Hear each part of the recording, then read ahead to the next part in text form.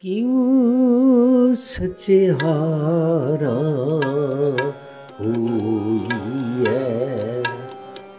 ਕਿਉ ਸਚਿਆਰਾ ਹੋਈਐ? ਕਿਉ ਸਚਿਆਰਾ ਕਿਉ ਸਚਿਆਰਾ ਕਿਉ ਸਚਿਆਰਾ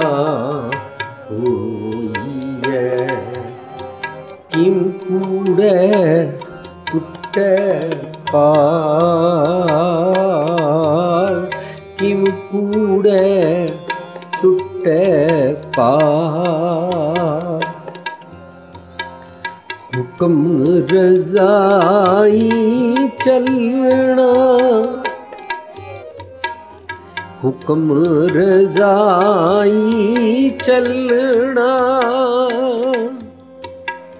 ਨਾਨਕ ਲਿਖਿਆ ਨਾ।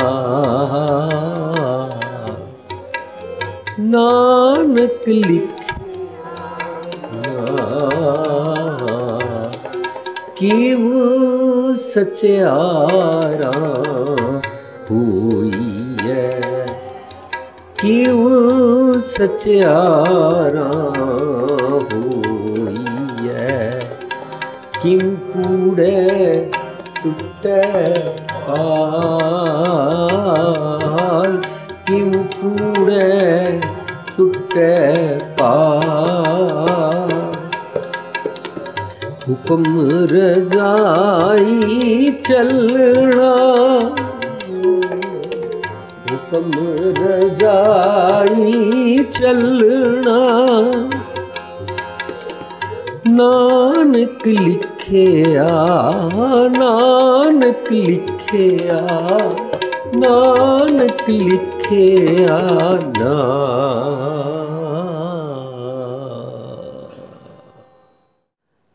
ਸਚਿਆਰਾ ਮੈਂ ਕਿਵੇਂ ਬਣਾ? ਕਿੰ ਸਚਿਆਰਾ ਹੋਈ ਹੈ ਕਿਤਨੀ ਉਹਦੇ ਅੰਦਰ ਗੁੱਜੇ ਪੇਤ ਦੀ ਗੱਲ ਹੈ? ਮੰਨਿਆ ਜਾ ਰਿਹਾ ਹੈ ਕਿ ਮੈਂ ਸਚਿਆਰਾ ਨਹੀਂ ਹਾਂ।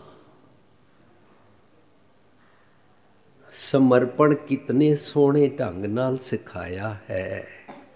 ਗੁਰੂ ਨਾਨਕ ਪਾਤਸ਼ਾਹ ਜੀ ਦਾ ਸ਼ਬਦ ਜਿਸ ਨੂੰ ਅਸੀਂ ਅੱਜ ਤੋਂ 16 ਕਿ 17 ਸਾਲ ਪਹਿਲਾਂ ਬੰਗਲਾ ਸਾਹਿਬ ਸਾਡੀ ਜਿਹੜੀ book stall international Sikh library ਦੀ ਐਗਜ਼ੀਬਿਸ਼ਨ ਲੱਗਦੀ ਹੈ ਸਰੋਵਰ ਦੇ ਕੰਢੇ ਤੇ, ਉੱਥੇ ਅਸੀਂ ਆਪਣਾ ਬੁੱਕ ਸਟਾਲ ਲਗਾਇਆ। ਔਰ ਸੰਗਤਾਂ ਨੂੰ ਅਸੀਂ 10 ਦਿਨ ਦੇ ਬੁੱਕ ਸਟਾਲ ਦੇ ਆਖਰੀ ਦਿਨ ਕੁਇਜ਼ ਵਾਸਤੇ ਸੰਗਤਾਂ ਨੂੰ ਅਸੀਂ ਪੇਪਰ ਵੰਡੇ। ਔਰ ਅਸੀਂ ਕਿਹਾ ਸੀ, ਟੇਪਾਂ ਔਰ ਕਿਤਾਬਾਂ ਫ੍ਰੀ ਦੇਾਂਗੇ ਸਾਨੂੰ ਦੱਸੋ, ਜੋ ਤੋ ਪ੍ਰੇਮ ਖੇਲਣ ਕਾ ਚਾਓ ਸਿਰ ਤਰਤਲੀ ਗਲੀ ਮੇਰੀ ਆਓ। ਇਹ ਸ਼ਬਦ ਕਿਸ ਦਾ ਹੈ? 90% ਤੋਂ ਜ਼ਿਆਦਾ ਆਨਸਰ ਆਇਆ ਪਾਤਸ਼ਾਹੀ ਦਸਵੀਂ। ਜਦ ਕਿ ਅਸੀਂ ਹੈਰਾਨ ਹੋ ਗਏ ਗੁਰੂ ਗ੍ਰੰਥ ਸਾਹਿਬ ਵਿੱਚ ਸ਼ਬਦ ਮਹਿਲਾ ਪਹਿਲਾ ਦਾ ਹੈ। ਗੁਰੂ ਨਾਨਕ ਸਾਹਿਬ ਗੱਲ ਕਰ ਰਹੇ ਨੇ। ਸਾਨੂੰ ਬੜਾ ਮੁਸ਼ਕਲ ਲੱਗਦਾ ਵੀ ਸਿਰ ਤਲੀ ਤੇ ਕਿਵੇਂ ਰੱਖ ਕੇ ਆਈ ਹੈ। ਇਹ ਬਾਇਓਲੋਜੀਕਲ ਸਿਰ ਕੱਟ ਕੇ ਤਲੀ ਤੇ ਲੈ ਕੇ ਆਣ ਦੀ ਗੱਲ ਨਹੀਂ ਚੱਲ ਰਹੀ। ਗੁਰੂ ਨਾਨਕ ਸਾਹਿਬ ਕਹਿੰਦੇ ਨੇ, ਜੇ ਤੈਨੂੰ ਪ੍ਰੇਮ ਹੈ ਨਾ ਆਪਣੀ ਸੋਚਣੀ ਦਾ, ਆਪਣੇ ਮਨ ਕੇ ਥਾਟ ਪ੍ਰੋਸੈਸ ਦਾ, ਜਿਹਨੂੰ ਮਨ ਕੀ ਮਤ ਕਹਿੰਦੇ ਨੇ, ਇਹ ਸਿਰ ਨਾ ਤਲੀ ਤੇ ਰੱਖ ਕੇ ਸਰੈਂਡਰ ਕਰਨ। ਆ ਜੇ ਤੈਨੂੰ ਮੇਰੇ ਨਾਲ ਪਿਆਰ ਹੈ, ਜੇ ਮੇਰੇ ਨਾਲ ਤੂੰ ਪ੍ਰੀਤ ਦੀ ਖੇਡ ਖੇਡਣਾ ਚਾਹੁੰਦਾ ਹੈ ਜੋ ਤੋ ਪ੍ਰੇਮ ਖੇਲਣ ਕਾ ਚਾਓ, ਸਿਰ ਤਰਤਲੀ ਗਲੀ ਮੇਰੀ ਆਓ। ਔਰ ਕਿਤਨੀ ਵੀ ਸਮਾਦਤ ਗੱਲ ਕਿ ਪਹਿਲੀ ਪੌੜੀ 'ਚ ਹੀ ਸਮਝਾ ਦਿੱਤਾ ਕੁੜਿਆਰ ਮੰਨ ਲਿਆ ਇਹਦਾ ਮਤਲਬ ਆਪਣਾ ਸਿਰ ਹੱਥ 'ਚ ਰੱਖ ਲਿਆ लो जी मेरा ये सिर ना ये सिर के अंदर जो अक्ल है ना जो मत है ना एक कूड़ी है ਸਿਰ ਤਲੀ ਤੇ ਆ ਗਿਆ ਇਹਨੂੰ ਕਹਿੰਦੇ ਨੇ ਹੋ ਮਨ ਅਰਤੀ। ਸਭ ਤਨ ਅਰਪੀ ਅਰਪੀ ਸਭ ਦੇਸ਼ਾ। ਹੂੰ ਮਨ ਅਰਪੀ ਸਭ ਤਨ ਅਰਪੀ ਅਰਪੀ ਸਭ ਦੇਸ਼ਾ। ਹੋ ਸਿਰ ਅਰਪੀ ਤਿਸ ਮੀਤ ਪਿਆਰੇ। ਹੋ ਸਿਰ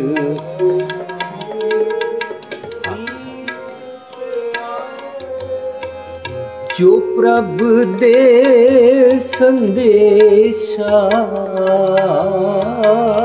ਜੋ ਪ੍ਰਭ ਦੇ ਸੰਦੇਸ਼ਾ, ਉਹ ਮਨ ਅਰਪੀ।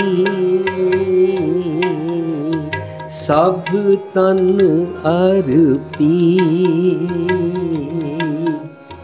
ਅਰਪੀ। ਸਭ ਦੇਸ਼ਾ। ਮੈਂ ਆਪਣਾ ਮਨ ਅਰਪਦਾ ਹਾਂ। ਮਨ ਅਰਪਣ ਦਾ ਮਤਲਬ ਕੀ ਹੁੰਦਾ ਹੈ?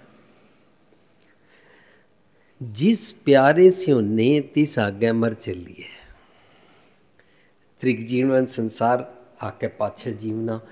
ਜਿਸ ਪਿਆਰੇ ਨਾਲ ਪਿਆਰ ਹੁੰਦਾ ਹੈ ਨਾ ਅਸਤੀ ਉਸ ਦੀ ਗੱਲ ਜਦੋਂ ਧਿਆਨ ਨਾਲ ਸੁਣਦੇ ਹਾਂ, ਇਹਨੂੰ ਮਨ ਦੇਣਾ ਕਹਿਲਾਂਦਾ ਹੈ। ਜਿਸ ਇਨਸਾਨ ਨਾਲ ਸਾਡਾ ਮਨ ਨਾ ਮਿਲਦਾ ਹੋਵੇ, ਅਸੀਂ ਉਸ ਦੀ ਗੱਲ ਕੰਨ ਦੇ ਕੇ ਧਿਆਨ ਨਾਲ ਸੁਣਦੇ ਨਹੀਂ ਹਾਂ। ਉਹ ਮਨ ਅਰਪੀ, ਸਭ ਤਨ ਅਰਪੀ, ਇਸ ਨੂੰ ਸਭ ਤਨ ਨਹੀਂ ਕਹਿੰਦੇ ਨੇ। ਮਨ ਦੇ ਜਿਤਨੇ ਸਾਰੇ ਖਿਆਲ ਨੇ, ਮਨ ਦੇ ਸਾਰੇ ਖਿਆਲਾਂ ਮੁਤਾਬਕ ਮੇਰੀਆਂ ਅੱਖਾਂ ਦੇਖਦੀਆਂ ਨੇ, ਇਹ ਅੱਖਾਂ ਕੱਲੀਆਂ ਨੂੰ ਦੇਖਣਾ ਨਹੀਂ ਆਂਦਾ। ਇਹ ਅੱਖਾਂ ਉਂਝ ਦੇਖਣਾ ਚਾਹੁੰਦੀਆਂ ਨੇ, ਜਿਵੇਂ ਮਨ ਨੂੰ ਪਸੰਦ ਹੈ। ਇਹ ਜੀਬਾ ਉਸ ਤਰ੍ਹਾਂ ਬੋਲਦੀ ਹੈ, ਜੈਸਾ ਅੱਗੋਂ ਬੰਦਾ ਵੇਖਦੇ ਹਾਂ। ਔਰ ਅਫਸੋਸ ਦੀ ਗੱਲ ਹੈ ਕਿ ਅਸੀਂ ਜੈਸਾ ਬੰਦਾ ਵੇਖਦੇ ਹਾਂ, ਵੈਸੀ ਗੱਲ ਕਰਦੇ ਹਾਂ। ਪਰ ਗੁਰਦੁਆਰੇ ਆ ਕੇ ਕਹਿੰਦੇ, ਭਾਈ ਸਾਹਿਬ ਜੀ ਨੂੰ, ਗ੍ਰੰਥੀ ਜੀ ਨੂੰ, ਸੇਵਾਦਾਰ ਜੀ ਨੂੰ, ਰਾਗੀ ਸਿੰਘ ਜੀ ਨੂੰ, ਕਥਾਕਾਰ ਜੀ ਨੂੰ, ਗੁਰੂ ਕੇ ਵਜ਼ੀਰ ਕਹਿੰਦੇ ਆ ਪਰ ਆਪਣੀ ਜ਼ੁਬਾਨ ਦੇ ਨਾਲ ਉਹਨਾਂ ਨੂੰ ਕਿਉਂਕਿ ਮਨ ਮੰਨ ਰਿਹਾ ਹੈ, ਇਹ EMPLOYE ਹੈ, ਓਏ ਭਾਈ ਓਏ ਓਏ ਸੇਵਾਦਾਰ ਓਏ। ਇੰਜ ਮੈਂ ਕਹਿੰਦੇ ਸੁਣੇ ਹਨ ਕਿਉਂ? ਕਿਉਂਕਿ ਮਨ ਨੇ ਜੈਸਾ ਸੋਚਿਆ ਜੀਬ ਨੇ ਵੈਸਾ ਬੋਲਿਆ। ਪਿੱਛੇ ਮੈਨੂੰ ਇੱਕ ਜਗ੍ਹਾ ਪਤਾ ਲੱਗਾ, ਇੱਕ ਸੇਵਾਦਾਰ ਜੀ ਇੱਕ ਮਹੀਨਾ ਗੁਰਦੁਆਰੇ ਨਹੀਂ ਆਏ। ਉਹਨਾਂ ਨੂੰ ਪੁੱਛਿਆ ਗਿਆ, ਤੁਸੀਂ ਕਿਉਂ ਨਹੀਂ ਆਉਂਦੇ? ਕਹਿੰਦਾ ਹੈ, ਮਨੂ ਪ੍ਰਬੰਧਕ ਚੋਂ ਇੱਕ ਸੱਜਣ ਕਹਿੰਦੇ ਨੇ, ਰਾਤੀ 11:30 ਵਜੇ ਮੇਰੇ ਪੈਰ ਕੁੱਟਣ ਆਇਆ ਕਰ ਮੈਂ ਤੰਗ ਆ ਗਿਆ ਸੀ। ਇਹ ਜਿਹੜੇ ਪੈਰ ਨੇ, ਪੈਰ ਤੇ ਇਹੀਓ ਸਨ, ਪਰ ਮਨ ਦੇ ਜਿਹੜੇ ਪੈਰ ਸਨ, ਉਹ ਕੁਝ ਗੜਬੜ ਸਨ।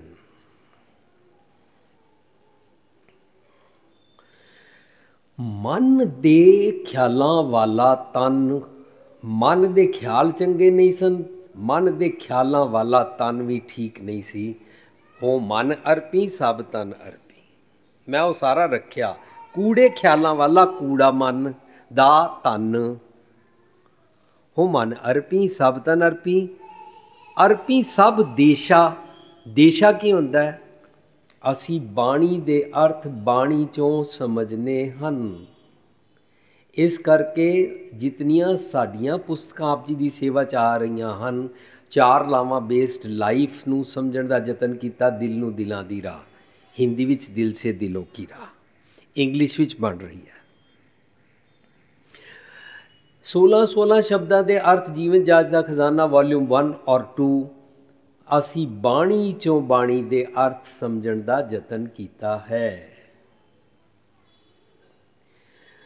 ਗੁਰਬਾਣੀ ਚੋਂ ਸਮਝ ਕੇ ਬਾਣੀ ਦੇ ਅਖਾਣ ਜਿਹੜੇ ਹਨ, ਉਹ 100 ਅਖਾਣਾਂ ਦੀ ਪੁਸਤਕ ਆਈ ਹੈ। ਬਾਣੀ ਚੋਂ ਬਾਣੀ ਨੂੰ ਸਮਝਣ ਦਾ ਯਤਨ ਕੀਤਾ ਹੈ। ਕਹਾਣੀਆਂ ਚੋਂ ਨਹੀਂ, ਇਤਿਹਾਸ ਚੋਂ ਨਹੀਂ। ਬਾਣੀ ਚੋਂ ਹੀ ਬਾਣੀ ਨੂੰ ਸਮਝਣ ਦਾ ਯਤਨ ਕਰਕੇ ਜਦੋਂ ਅਸੀਂ ਅਰਥ ਸਮਝਦੇ ਹਾਂ, ਬੜਾ ਵਿਸਮਾਦ ਵਾਪਰ ਜਾਂਦਾ ਹੈ। ਫੋਰ ਐਗਜ਼ਾਮਪਲ ਅੱਜ ਤੋਂ 6 ਸਾਲ ਪਹਿਲਾਂ ਮੈਂ ਟੈਂਪਾ ਫਲੋਰੀਡਾ ਦੇ ਕੋਲ ਇੱਕ ਜਗ੍ਹਾ ਉੱਥੇ ਗਿਆ। ਉੱਥੇ ਇੱਕ ਸੱਜਣ ਕਹਿੰਦੇ, ਮੇਰੀ 82 ਸਾਲ ਉਮਰ ਹੈ, ਮੈਂ ਕੁਝ ਚਿਰ ਤੋਂ ਆਪ ਦੀਆਂ ਟੇਪਾਂ ਸੁਣ ਰਿਹਾ ਹਾਂ ਟੀਵੀ ਤੇ ਪ੍ਰੋਗਰਾਮ ਦੇਖ ਰਿਹਾ ਹਾਂ। ਤੁਹਾਨੂੰ ਮੈਂ ਵੇਟ ਕਰ ਰਿਹਾ ਸੀ ਕਿ ਤੁਸੀਂ ਸ਼ਬਦਾਂ ਦੇ ਅਰਥ ਬਾਣੀ ਚੋਂ ਲੱਭਦੇ ਹੋ ਤਾਂ ਕਾਹੇ ਪੂਤ ਝਗੜਤ ਹੋ ਸੰਗ ਬਾਪ? ਇਹਦੇ ਅਰਥ ਕੀ ਕਰੋਗੇ? ਮੈਂ ਉਹਨਾਂ ਨੂੰ ਪੁੱਛਿਆ, ਤੁਸੀਂ ਮੈਨੂੰ ਦੱਸ ਦਿਓ ਇਹਦੇ ਅਰਥ। ਕਹਿੰਦੇ, ਗੁਰੂ ਨਾਨਕ ਸਾਹਿਬ ਦਾ ਪੁੱਤਰਾਂ ਨਾਲ ਝਗੜਾ ਹੋਇਆ ਸੀ, ਇਹ ਸ਼ਬਦ ਉਹਦੇ ਬਾਰੇ ਹੈ। ਮੈਂ ਕਿਹਾ, ਇਹ ਤਾਂ ਤੁਸੀਂ ਉਹਨੂੰ ਇਤਿਹਾਸ ਸੁਣਾ ਰਹੇ ਹੋ। ਮਨੂ ਬਾਣੀ ਚੋਂ ਪਤਾ ਲੱਗਾ, ਪਿਤਾ ਕਹਿੰਦੇ ਨੇ, ਸੰਤੋਖ ਨੂੰ। ਮਾਤਾ ਮਤ, ਪਿਤਾ ਸੰਤੋਖ। ਇਹ ਵੀ ਅਸੀਂ ਅਰਥ ਕਿੱਥੋਂ ਲੱਭੇ? ਬਾਣੀ ਚੋਂ। ਗੌੜੀ ਦਾ ਸ਼ਬਦ, ਮਾਤਾ ਮਤ, ਪਿਤਾ ਸੰਤੋਖ। ਇਹਦਾ ਮਤਲਬ ਬਾਣੀ ਅੰਦਰ ਜਦੋਂ ਪਿਤਾ ਦੀ ਗੱਲ ਆਏਗੀ, ਤਾਂ ਸੰਤੋਖ ਦੀ ਗੱਲ ਕੀਤੀ ਜਾ ਰਹੀ ਹੈ। ਸਰੀਰਕ ਪਾਪਾ ਜੀ ਕੀ ਗੱਲ ਨਹੀਂ ਚੱਲ ਰਹੀ। ਜਦੋਂ ਬਾਣੀ ਅੰਦਰ ਮਾਤਾ ਦੀ ਗੱਲ ਆਏਗੀ, ਮਤ ਦੀ ਗੱਲ ਆਏਗੀ, ਬਾਇਓਲੋਜੀਕਲ ਮੰਮੀ ਜੀ ਦੀ ਗੱਲ ਨਹੀਂ ਹੈ। ਤਾਂ ਮੈਂ ਉਹਨਾਂ ਨੂੰ ਬੇਨਤੀ ਕੀਤੀ, ਜਦੋਂ ਮੇਰਾ ਮਨ ਸੰਤੋਖ ਦੇ ਅਗੇਂਸਟ ਹੁੰਦਾ ਹੈ ਕੰਟੈਂਟਡ ਨਹੀਂ ਹੁੰਦਾ, ਬਲਕਿ ਡਿਸਕੰਟੈਂਟਡ ਹੋ ਜਾਂਦਾ ਹੈ, ਅਸੰਤੋਖੀ ਹੋ ਜਾਂਦਾ ਹੈ, ਉਸ ਅਵਸਥਾ ਨੂੰ ਕਹਿੰਦੇ ਹਨ, ਕਾਹੇ ਪੂਤ ਝਗੜਤ ਹੋ ਸੰਗ ਬਾਪ। ਇੱਕ ਸ਼ਬਦ ਅਸੀਂ ਪੜ੍ਹਦੇ ਹੁੰਦੇ ਹਾਂ।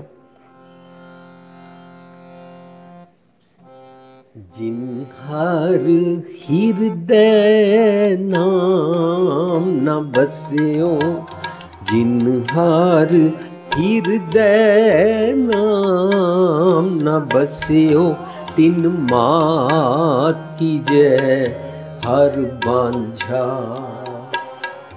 ਤਿਨ ਮਾਤ ਕੀ ਜੈ, ਹਰ ਬਾਂਝਾ। ਤਿਨ ਸੁੰਜੀ ਦੇ ਫਿਰੈ ਬਿਨ ਨਾਵੇਂ, ਤਿਨ ਸੁੰਜੀ ਦੇ ਫਿਰੈ ਬਿਨ ਨਾਵੇਂ।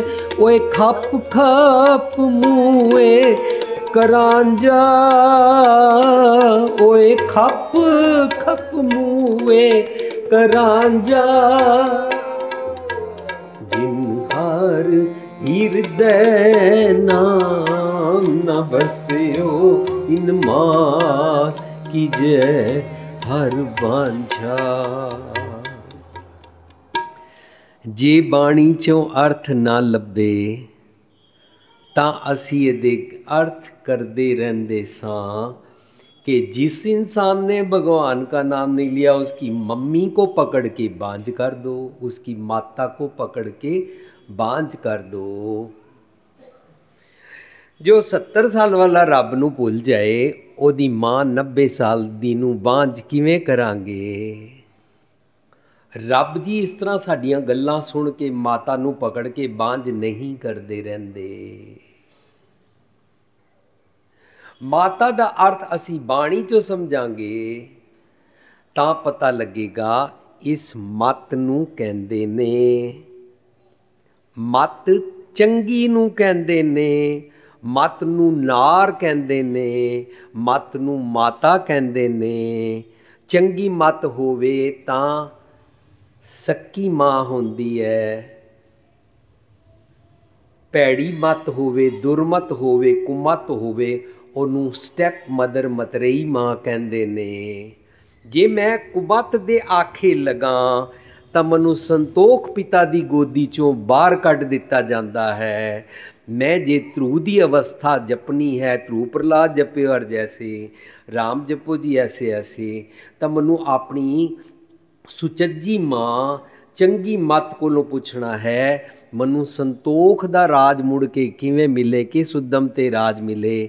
ਜੇ ਮੈਂ ਉਹ ਅਵਸਥਾ ਪ੍ਰਾਪਤ ਕਰਦਾ, ਸੰਤੋਖ ਪਿਤਾ ਦੀ ਗੋਦੀ ਵਿੱਚ ਬੈਠਦਾ ਹਾਂ, ਮਾਨੋ ਮੈਨੂੰ ਮੇਰੀ ਸਟੈਪ ਮਦਰ ਕੁਚੱਜੀ ਮਾਂ ਤੋਂ ਮੇਰੀ ਜਾਨ ਛੁੱਟ ਗਈ ਔਰ ਮੈਨੂੰ ਸੁਚੱਜੀ ਮਤ ਪ੍ਰਾਪਤ ਹੋਈ।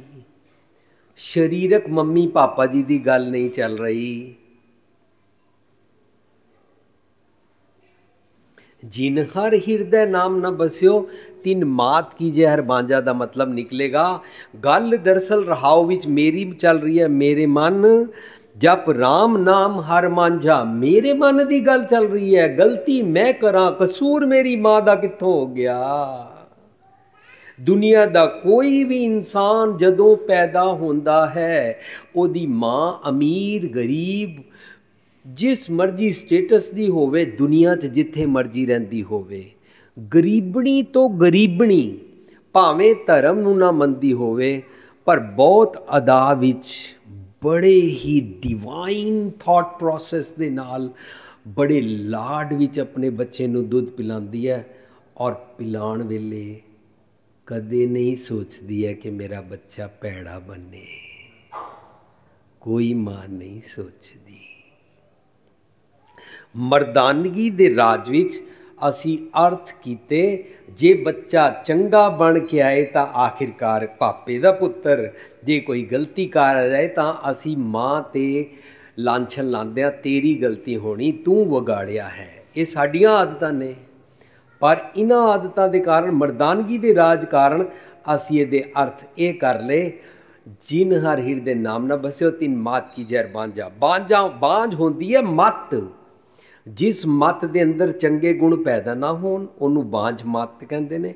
ਜਿਸ ਬੰਦ ਮਤ ਦੇ ਅੰਦਰ ਚੰਗੇ ਗੁਣ ਨੂੰ ਸੁਣੀਏ, ਪਰ ਉਹਨੂੰ ਕਨਸੀਵ ਨਾ ਕਰ ਸਕੇ ਮੀਨਸ ਉਹਨੂੰ ਰੋਕ ਨਾ ਸਕੇ, ਚੰਗਾ ਗੁਣ ਭੁੱਲ ਹੀ ਜਾਏ, ਚੰਗੇ ਖਿਆਲ ਹੀ ਭੁੱਲ ਜਾਏ, ਉਹਨੂੰ ਬਾਂਝ ਕਹਿੰਦੇ ਨੇ ਮਿਸਕੈਰੀਏਜ ਹੋ ਗਿਆ। ਔਰ ਜਿਸ ਦਾ ਬੱਚਾ ਹੋ ਕੇ ਮਰ ਜਾਂਦਾ, ਉਹਨੂੰ ਵੀ ਬਾਂਝ ਕਹਿੰਦੇ ਨੇ, ਚੰਗੀ ਗੱਲ ਸੁਣੀ, ਚੰਗਾ ਗੁਣ ਸੁਣਿਆ, ਲੇਕਿਨ ਪ੍ਰੈਕਟੀਕਲ ਜੀਂਦਾ ਨਹੀਂ ਹੈ। ਇਹ ਤਿੰਨੋਂ ਕਿਸਮਾਂ ਨੂੰ ਮਤ ਬਾਂਝ ਕਹਿੰਦੇ ਇਹਦਾ ਮਤਲਬ ਅਸੀਂ ਬਾਣੀ ਚੋਂ ਬਾਣੀ ਦੇ ਅਰਥ ਲੱਭਣੇ ਹਨ ਹੋ ਮਨ ਅਰਪੀ ਸਭ ਤਨ ਅਰਪੀ ਅਰਪੀ ਸਭ ਦੇਸ਼ਾ ਤੋਂ ਗੱਲ ਚਾਲੂ ਹੋਈ ਸੀ ਦੇਸ਼ ਕਿਹੜਾ ਮਾਦੋ ਹਮ ਐਸੇ ਤੂੰ ਐਸਾ ਹਮ ਪਾਪੀ तुम पाप खंडन नीको ठाकुर देशा आपका देश नीका है चंगा है ਰੱਬ ਜੀ ਤੁਸੀਂ ਚੰਗੇ ਹੋ ਸਾਡਾ ਕੰਟਰਾਸਟ ਹੈ ਤੁਮ ਕਰੋ ਭਲਾ ਹਮ ਭਲੋ ਨਾ ਜਾਣਾ ਇਸ ਤਰ੍ਹਾਂ ਅਸੀਂ ਉਸ ਸ਼ਬਦ ਦੇ ਅੰਦਰ ਕੰਟਰਾਸਟ ਦੱਸਿਆ ਹੋਇਆ ਹੈ ਤੁਹਾਡਾ ਦੇਸ਼ ਮੀਨਸ ਤੁਹਾਡਾ ਸੋਚਣੀ ਦਾ ਢੰਗ ਮੇਰਾ ਦੇਸ਼ ਮੀਨਸ ਮੇਰੀ ਸੋਚਣੀ ਦਾ ਢੰਗ नीको ठाकुर देश आपका देश अच्छा है वो देश मरने के बाद नहीं है वो देश आसमान पर नहीं है वो देश कौन सा है बाउंड्रीज वाला नहीं है रब जी तो सब जगह ने ਜੇ ਇਹ ਸਮਝ ਆ ਜਾਏ ਨਾ ਰੱਬ ਜੀ ਸਭ ਜਗ੍ਹਾ ਨੇ ਮਨੁੱਖ ਦੀ ਤੀਰਥਾਂ ਤੇ ਜਾਣ ਦੀ ਭਟਕਣਾ ਛੁੱਟ ਜਾਂਦੀ ਹੈ फिर मनु कहता जब सब जगह वहाँ तो जाइए जो यहाँ ना होए अबे वहाँ तो मैं तब जाऊँ जो भगवान यहाँ पर ना हो तुम बोलते हो आपको शाम को जब धूप चढ़ रही होती है या उतर रही होती है तब लश्कारा पड़ता और भगवान जी नजर आते हैं ਉਹ नहीं जी नहीं संक्रांत वाले दिन नजर आते हैं पूर्णमाशी वाले दिन नजर आते हैं अचानक एक दिन घोड़े पे आए थे और फिर चले भी गए थे ਅਚਾਨਕ ਇੱਕ ਦਿਨ ਕੁੱਤਾ ਬਣ ਕੇ ਆਏ ਥੇ ਔਰ ਫਿਰ ਭਾਗ ਰਹੇ ਥੇ। ਇਹ ਸਾਰੀਆਂ ਸਾਡੀਆਂ ਕਹਾਣੀਆਂ ਨੇ। ਬਾਣੀ ਕਹਿੰਦੀ ਹੈ, ਸਤਗੁਰ ਮੇਰਾ ਸਦਾ ਸਦਾ ਨਾ ਆਵੇ, ਨਾ ਜਾਏ, ਉਹ ਅਬਿਨਾਸ਼ੀ ਪੁਰਖ ਹੈ, ਸਭ ਮੇਰੇ ਅਸਮਾਏ ਸਤਗੁਰ ਇਮੋਰਟਲ ਹੈ, ਸਤਗੁਰ ਅਤੇ ਰੱਬ ਇੱਕੋ ਕਨਸੈਪਟ ਹੈ ਬਾਣੀ ਅੰਦਰ। ਰੱਬ ਮੀਨਸ ਸਤਗੁਰ ਸਤਗੁਰ ਮੀਨਸ ਰੱਬ ਜੀ। ਸਤਗੁਰ ਸਭਨਾ ਦਾ ਭਲਾ ਮਨਾਇੰਦਾ ਮੀਨਸ ਰੱਬ ਜੀ ਸਾਰਿਆਂ ਦਾ ਭਲਾ ਚਾਹੁੰਦੇ ਨੇ। ਜੇ ਰੱਬ ਜੀ ਸਭ ਦਾ ਭਲਾ ਚਾਹੁੰਦੇ ਨੇ, ਤਾਂ ਰੱਬ ਜੀ ਦਾ ਦੇਸ਼। ਵਰਸਿਸ ਮੈਂ ਭਲਾ ਨਹੀਂ ਚਾਹੁੰਦਾ, ਮੇਰਾ ਦੇਸ਼।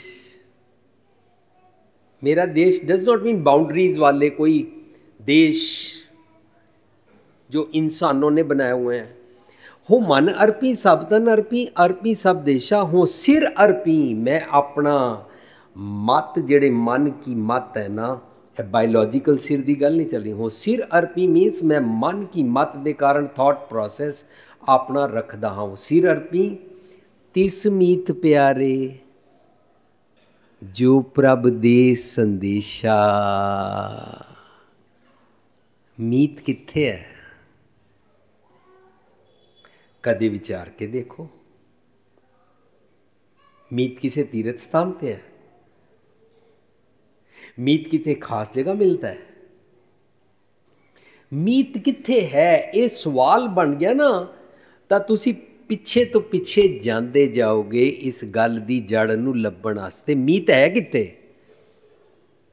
ਲਓ ਜੀ ਹੁਣ ਗੁਰਬਾਣੀ ਕਹਿੰਦੀ ਹੈ ਜੋ ਭਗਵਾਨ को तू आसमान पे समझता है ना वो भगवान यहाँ धरती पर है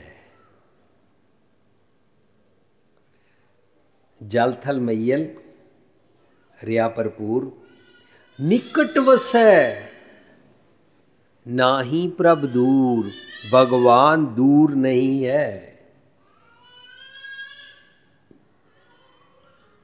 ਅਸੀਂ ਤੇ ਮਰਨ ਤੋਂ ਬਾਅਦ ਵਾਲਾ ਸਮਝਦੇ ਸੀ ਕਿਉਂਕਿ हमको हजारों सालों से हम समझाया ही ये गया जब मर जाएंगे मरने के बाद भगवान जी अगर ससुराल जाएंगे इंज ही दसिया ना ਅਸੀਂ ਸਭ ਨੇ ਹੀ ਮੰਨ ਲਿਆ मरने के बाद वाला जो तो खुद मनी जा रहे हैं, यहाँ पर पत्ता उसकी हवा के बिना नहीं हिलता है, खुद ही मनी जा रहे हैं कड़कड़ में भगवान होता है, मरने के बाद वाला कौन सा आज इथे होने हन, नेड़ा है, दूर ना ही रे।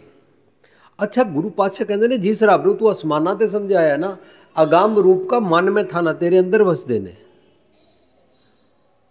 अच्छा रब जी, अंदर वसते ने?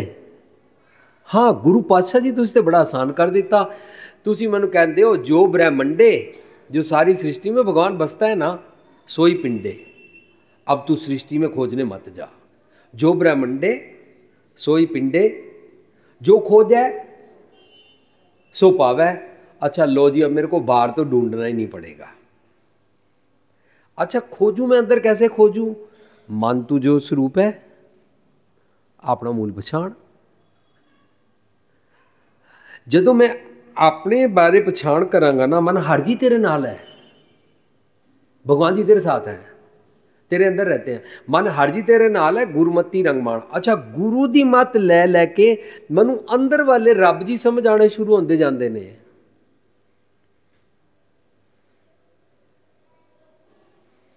कितना सौखा हो गया हम समझ रहे थे मरने के बाद भगवान है आसमान पे कहीं खुदा और मरने के बाद वो कचहरी और दरगाह लगाएगा दरगाह भी भगवान की ऊपर ਅਸੀਂ ਸਮਝ ਲਿਆ ਹੋਇਆ ਸੀ ਗਲਤਫਹਿਮੀ ਹਜ਼ਾਰਾਂ ਸਾਲਾਂ ਤੋਂ ਰਗਾਂ ਸਾਡੇ ਖਿਆਲ ਵੜਿਆ ਹੋਇਆ ਹੈ मरने के बाद भगवान ऊपर मरने के बाद लेखा जोखा करेगा मरने के बाद कचहरी है हमारे यहाँ भी ऑफिसों में काम देर से ही होते हैं एक एक फाइल दस दस साल चलती रहती है इसलिए हमने सोचा भगवान भी ऐसे ही टिल्लड़ू जी होएंगे मैं कसूर आज करता हूँ नब्बे साल के बाद जब मरूँगा, तब तक केस पेंडिंग पड़ा रहता है।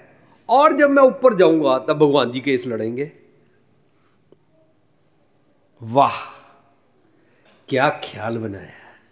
क्या एस्केपिज्म का टकोसला।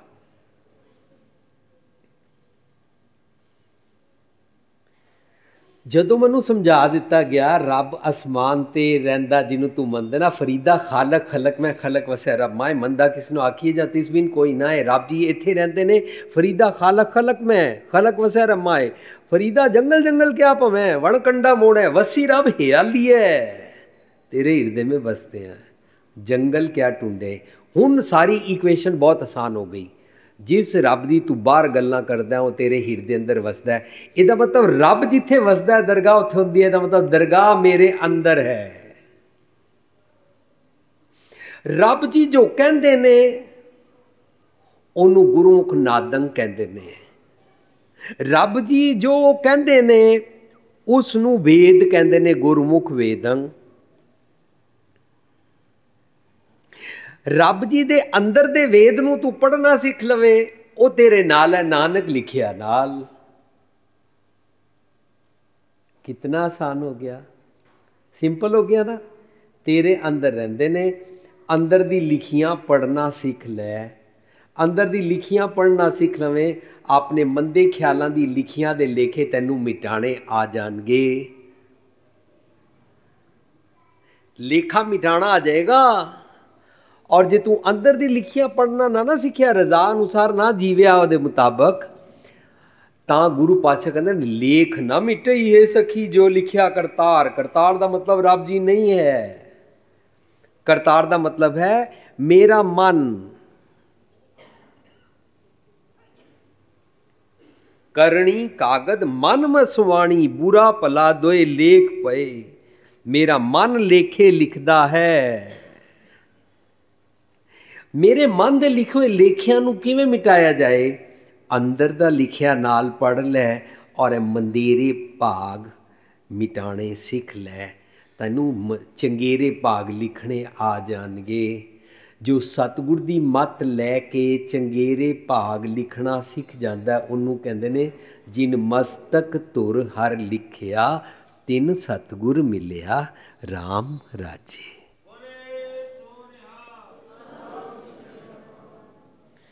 ਉਹ ਆਪਣੀ ਅਗਿਆਨ ਅੰਧੇਰਾ ਕੱਟਿਆ, ਗੁਰਗਿਆਨ ਪ੍ਰਚੰਡ ਬੁਲਾਇਆ ਕਰਦਾ ਹੈ, ਉਹ ਅਗਿਆਨਤਾ ਦਾ ਹਨੇਰਾ ਕੱਟਦਾ ਹੈ।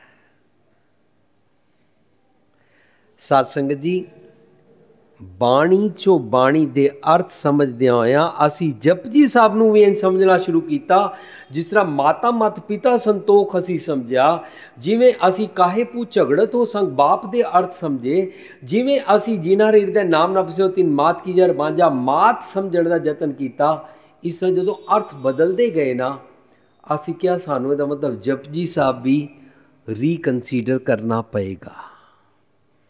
ਸਾਧ ਸੰਗਤ ये है बहुत मुश्किल अवस्था कि मेरे को जो कुछ पता है, ये सारा ज़ीरो।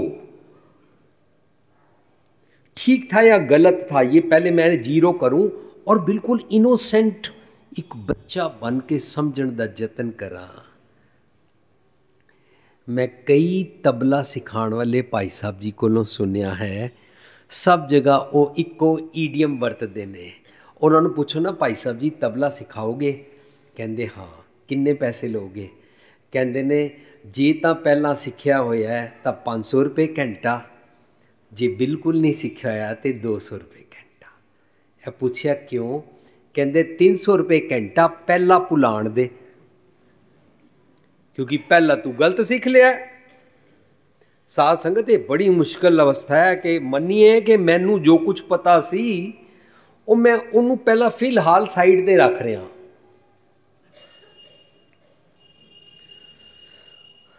ਨਵੀਂ ਖੇਡ ਵਾਪਰਦੀ ਜਾਂਦੀ ਹੈ। ਇਸ ਤਰ੍ਹਾਂ ਕਰਦਿਆਂ ਕਰਦਿਆਂ ਅਸੀਂ ਇਹਨਾਂ ਪੌੜੀਆਂ ਵਿੱਚ ਟੁਰੇ, ਇਹਨਾਂ ਪੌੜੀਆਂ ਨੂੰ ਸਮਝਣ ਦਾ ਯਤਨ ਕੀਤਾ ਤਾਂ ਮਹਿਸੂਸ ਹੋਇਆ ਸਾਰੀ ਦੁਨੀਆ ਦੇ ਸਾਰੇ ਮਨੁੱਖਾਂ ਨੂੰ ਕਹਿ ਰਹੇ ਨੇ, ਮਨ ਕੁੜਿਆਰ ਹੈ, ਸਚਿਆਰ ਬਣ ਸਕਦਾ ਹੈ। ਅੰਦਰ ਦੇ ਲਿਖੇ ਰੱਬ ਜੀ ਦੀਆਂ ਗੱਲਾਂ ਨਾਨਕ ਲਿਖਿਆ ਨਾਲ ਤੇਰੇ ਨਾਲ ਹੈ, ਉਹਨਾਂ ਦੇ ਮੁਤਾਬਿਕ ਜੇ ਤੂੰ ਚੱਲੇ, ਆਪਣਾ ਜੀਵਨ ਬਣਾਏ। ਆਪਣਾ ਜੀਵਨ ਐਥਿਕਸ ਆਈਡੀਅਲਸ ਵਰਚੂਸ ਦੇ ਮੁਤਾਬਕ ਬਣਾਏ। ਇਹਨੂੰ ਕਹਿੰਦੇ ਨੇ ਸਾਧ ਸੰਗ। ਜੇ ਸਾਧ ਸੰਗ ਕਰੇ, ਸਾਧ ਸੰਗ ਕਿਹਦੇ ਤੋਂ ਬਣਿਆ ਸਤ ਸੰਗ ਤੋਂ ਸੱਚ ਤੋਂ ਰੱਬ ਜੀ ਨੂੰ ਸੱਚ ਕਹਿੰਦੇ ਨੇ, ਸੱਚ ਤੋਂ ਬਣਿਆ ਹੈ ਸੱਤ। ਸੱਤ ਤੋਂ ਜਿਹੜਾ ਜਿਹੜਾ ਸੱਤ ਤਤ ਨਿਕਲ ਕੇ ਐਸੈਂਸ ਨਿਕਲ ਨਿਕਲ ਕੇ ਆਂਦਾ ਹੈ, ਉਹਨੂੰ ਸੰਤ ਕਹਿੰਦੇ ਨੇ। ਈਚ ਇੰਡੀਵਿਜੂਅਲ ਸੰਤ ਨੂੰ ਮਿਲਾ ਕੇ ਪਲੂਰਲ ਜਿਹੜਾ ਸੰਤ ਬੰਦਾ ਹੈ ਉਸ ਨੂੰ ਵਰਚੂਸ ਕਹਿੰਦੇ ਨੇ ਚੰਗੀਆਂ ਚੰਗੀਆਂ ਵਰਚੂਜ਼ ਇਕੱਠੀਆਂ ਕਰ ਕਰਕੇ। ਮੀਨਸ ਚੰਗੇ ਚੰਗੇ ਗੁਣ ਇਕੱਠੇ ਕਰ ਕਰਕੇ ਉਹਨਾਂ ਨੂੰ ਪੰਜ ਪ੍ਰਵਾਨ ਕਹਿੰਦੇ ਨੇ। ਚੰਗੇ ਚੰਗੇ ਗੁਣਾ ਦਾ ਸੰਗ ਕਰਨਾ ਸਾਧ ਸੰਗ ਕਹਿ ਕਹਿਲਾਂਦਾ ਹੈ, ਵਿੱਚ ਕੋਈ ਮਨੁੱਖ ਦੀ ਤੇ ਗੱਲ ਚੱਲ ਹੀ ਨਹੀਂ ਰਹੀ ਨਾ।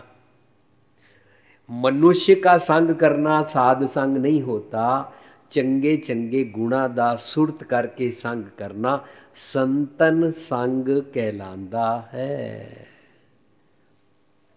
ਜੇ ਮੈਂ ਵਰਚੂਜ਼ ਦਾ ਸੰਗ ਕਰਾਂ ਤਾਂ ਮੇਰਾ ਜੀਵਨ ਵਰਚੂਜ਼ ਵਾਲਾ ਬਣੇਗਾ, ਭਲੇ ਗੁਣਾ ਵਾਲਾ ਬਣੇਗਾ ਇਹਨੂੰ ਸਦਗੁਣੀ ਸੁਭਾਅ ਵਾਲਾ ਜੀਵਨ ਕਹਿੰਦੇ ਨੇ। ਵਰਚੂਸ ਜੇ ਮੈਨੂੰ ਸੁਮਤ ਬਖਸ਼ ਦਿਓ ਉਹਨੂੰ ਗਿਆਨ ਖੰਡ ਦੀ ਅਵਸਥਾ ਕਹਿੰਦੇ ਨੇ। ਮੇਰੇ ਕੋ ਬਤਾਓ ਉਹ ਕੌਣ ਕੌਣ ਸੀ ਹੋਤੀ ਹੈ। ਪਹਿਲਾਂ ਸਾਡੇ ਸਕੂਲਾਂ ਦਾ ਸਿਸਟਮ ਹੁੰਦਾ ਸੀ। ਸਕੂਲਾਂ ਦੇ ਸਿਸਟਮ ਵਿੱਚ ਪਹਿਲਾਂ ਮੋਰਲ ਸਟੱਡੀਜ਼ ਹੁੰਦੀਆਂ ਸਨ। ਸਕੂਲਾਂ ਦੇ ਸਿਸਟਮ ਵਿੱਚ ਟੀਚਰ ਦਾ ਸਤਕਾਰ ਸਿਖਾਇਆ ਜਾਂਦਾ ਸੀ। ਸਕੂਲਾਂ ਦੇ ਸਿਸਟਮ ਵਿੱਚ ਹਮੇਸ਼ਾ ਬੱਚੇ ਨੂੰ ਪਿਆਰ ਕਰਕੇ ਉਸ ਦਾ ਖਾਸ ਧਿਆਨ ਰੱਖਿਆ ਜਾਂਦਾ ਸੀ। ਜਿਹੜਾ ਬੱਚਾ ਫੀਸ ਨਹੀਂ ਦੇ ਸਕਦਾ, ਟੀਚਰ ਆਪਣੇ ਪੱਲੋਂ ਕਹਿੰਦਾ ਸੀ ਤੁਮ ਬਹੁਤ ਸਿਆਣੇ ਬੱਚੇ ਹੋ, ਬੇਟਾ ਪੜ੍ਹਾਈ ਮਤ ਛੋੜਨਾ। ਅੱਛਾ, ਤੁਹਾਡੀ ਫੀਸ ਮੈਂ ਦੇ ਦੂੰਗਾ। ਇਹ ਮੈਂ ਜ਼ਿੰਦਗੀ ਦੀ ਪਹਿਲੀ ਫਿਲਮ ਦੋਸਤੀ ਵੇਖੀ ਸੀ। ਉਹਦੇ ਵਿੱਚ ਉਹ ਲੰਗੜਾ ਪੜ੍ਹਾਈ 'ਚ ਅੱਛਾ ਸੀ। ਉਹਦਾ ਟੀਚਰ ਉਸ ਦੀ ਫੀਸ ਦਿੰਦਾ ਹੈ। ਉਹਨੂੰ ਕਹਿੰਦਾ, ਤੂੰ ਚੌਂਕ ਤੇ ਭੀਖ ਨਾ ਮੰਗਿਆ ਕਰ। ਤੂੰ ਪੜ੍ਹਾਈ 'ਚ ਅੱਛਾ ਹੈ। ਪੜ ਜਾਏਗਾ। ਇਹ ਸਾਰਾ ਸਿਸਟਮ ਹੈ ਸੀ ਨਾ? ਇਹ ਸਾਰਾ ਸਿਸਟਮ ਗਵਾਚ ਗਿਆ ਹੈ। ਵਰਚੂਸ ਦੀ ਮੋਰੈਲਿਟੀ ਦੀ ਮੋਰਲ ਸਾਇੰਸ ਦੀ ਗੱਲ ਕੋਈ ਨਹੀਂ ਹੁੰਦੀ। ਜੇ ਸਕੂਲਾਂ ਵਿੱਚ ਡਿਵਿਨਿਟੀ ਦਾ ਪੀਰੀਅਡ ਲਗਾਇਆ ਵੀ ਗਿਆ ਹੈ, ਤੇ ਉਹ 8ਵਾਂ ਪੀਰੀਅਡ ਰੱਖਿਆ ਜਾਂਦਾ ਹੈ, ਉਹਦੇ ਕੋਈ ਖਾਸ ਨੰਬਰਾਂ ਦੀ ਵੈਲਿਊ ਨਹੀਂ ਹੁੰਦੀ। ਘਰ ਵੀ ਮੰਮੀ ਪਾਪਾ ਇਹੀ ਕਹਿ ਰਹੇ ਹੁੰਦੇ ਨੇ, ਉਹ ਵਾਲੀ ਪੜ੍ਹਾਈ ਕਰ ਜਿਹਦੇ ਨਾਲ ਡਾਕਟਰ, ਇੰਜੀਨੀਅਰ ਬਣੀਦਾ ਹੈ। ਇਹ ਕਿ ਤੂੰ ਹਰ ਵੇਲੇ ਪਾਠ ਕਰਦਾ ਰਹਿੰਦਾ, ਗਿਆਨੀ ਬਣ ਜਾਏਗਾ। ਇਹੀ ਘਰਾਂ ਵਿੱਚ ਕਹਿੰਦੇ ਨਾ ਸੋ ਸਾਡੀ ਨਾ ਸਾਰੀ ਮੋਰੈਲਿਟੀ ਗਵਾਚ ਗਈ। ਚੰਗੇ ਗੁਣਾ ਦਾ ਸੰਗ ਕਰਨਾ ਸਾਧ ਸੰਗ ਕਹਿਲਾਂਦਾ ਹੈ। ਸਾਧ ਸੰਗ ਮੈਂ ਤਾਂ ਕਰਾਂਗਾ ਜੇ ਮੈਂ ਅਸਾਧ ਹਾਂ। ਮੈਂ ਆਪਣੇ ਆਪ ਨੂੰ ਕੁੜਿਆਰਾ ਸਮਝਾਂ। ਕੁੜਿਆਰਾ ਸਮਝਣ ਵਾਸਤੇ ਮੈਨੂੰ ਸੁਣਨਾ ਪਏਗਾ, ਸੁਣ ਕੇ ਮੈਨੂੰ ਮੰਨਣਾ ਪਏਗਾ। ਇਹ ਸਾਰੀਆਂ ਅਵਸਥਾਵਾਂ ਜਿਹੜੀਆਂ ਨੇ ਨਾ, ਪਹਿਲੀ ਅਵਸਥਾ ਸੀ ਸਮਝੀ, ਧਰਮ ਖੰਡ। ਜਦੋਂ ਇਨਸਾਨ ਮੰਨਦਾ ਹੈ ਕਿ ਮੈਂ ਕੁੜਿਆਰਾ ਹਾਂ। ਮੈਂ ਕੁੜਿਆਰ ਤੋਂ ਸਚਿਆਰ ਬੰਨਣਾ ਚਾਹੁੰਦਾ ਹਾਂ। ਮੈਨੂੰ ਕੁੜਿਆਰ ਤੋਂ ਸਚਿਆਰ ਬਣਨ ਦੀ ਅਵਸਥਾ ਬਖਸ਼ੋ। ਬਤਾਓ, ਗਿਆਨ ਖੰਡ ਕਾ, ਆਖੋ, ਕਰਮ। ਇਹ ਸਭ ਕੁਝ ਉਹ ਕਰਦਾ ਹੈ। ਸ਼ਰਮ ਖੰਡ, ਗਿਆਨ ਖੰਡ ਵਿੱਚ ਹਾਸਲ ਕੀਤੇ ਤਤ ਗਿਆਨ ਅਤੇ ਵਿਵੇਕ ਬੁੱਧੀ ਰਾਹੀਂ ਕੂੜ ਨੂੰ ਨਿਖੇੜਨ ਦੀ ਜਾਚ ਸਮਝ ਆਂਦੀ ਹੈ। ਔਰ ਫਿਰ ਉਹ ਸ਼ਰਮ ਕਰਕੇ ਕੂੜ ਨੂੰ ਸਾਈਡ ਤੇ ਕਰਦਾ ਹੈ, ਚੰਗੇ ਗੁਣਾਂ ਨੂੰ ਪਕੜ ਕੇ ਰੱਖਦਾ ਹੈ, ਇਹਨੂੰ ਵਿਵੇਕ ਬੁੱਧੀ ਕਹਿੰਦੇ ਨੇ। ਚੰਗੇ ਮੰਦੇ ਦੀ ਪਛਾਣ ਕਰਨੀ। ਅਸੀਂ ਪਤਾ ਚੰਗੇ ਮੰਦਾ ਕਿਹਨੂੰ ਕਹਿੰਦੇ ਆ ਨਾ? ਲੋਕਾਂ ਨੂੰ। ਚੰਗੇ ਮੰਦੇ ਗੁਣ ਦੀ ਪਛਾਣ ਕਰਨੀ ਹੈ। ਵੀ ਜਜ ਅਦਰਸ ਆਈ ਹੈਵ ਟੂ ਜਜ ਚੰਗਾ ਗੁਣ ਕਿਹੜਾ ਹੈ, ਮੰਦਾ ਗੁਣ ਕਿਹੜਾ ਹੈ? ਗੁਰੂ ਪਾਸ਼ਾ ਕਹਿੰਦੇ ਨੇ, ਜਦੋਂ ਤੱਕ ਲੋਕਾਂ ਨੂੰ ਚੰਗਾ ਮੰਦਾ ਕਹਿੰਦਾ ਰਹੇਗਾ ਨਾ, ਬੁਰਾ ਭਲਾ ਤਿਚਰ ਆਖਦਾ, ਜਿਚਰ ਹੈ ਦੂਹ ਮਾਏ। ਜੋ ਤੱਕ ਤੂੰ ਦੁਬਿਧਾ ਵਿੱਚ ਹੈ ਨਾ ਡੁਅਲਿਟੀ ਚ ਹੈ ਨਾ, ਲੋਕਾਂ ਨੂੰ ਚੰਗਾ ਮੰਦਾ ਕਹਿੰਦਾ ਰਹੇਗਾ। ਤੈਨੂੰ ਚੰਗੇ ਮੰਦੇ ਗੁਣਾ ਉਗਣਾ ਬਾਰੇ ਕੁਝ ਸਮਝ ਨਹੀਂ ਆਏਗੀ।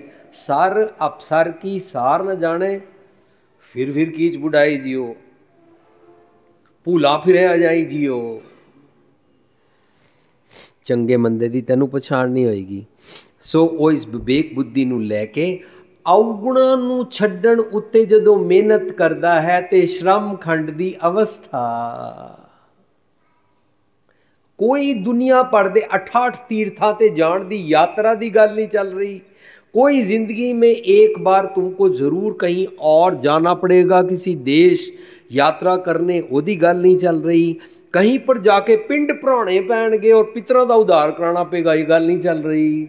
ਕੋਈ ਵਿਚੋਲਾ ਹੋਣਾ ਜ਼ਰੂਰੀ ਹੈ, ਇਹ ਗੱਲ ਨਹੀਂ ਚੱਲ ਰਹੀ।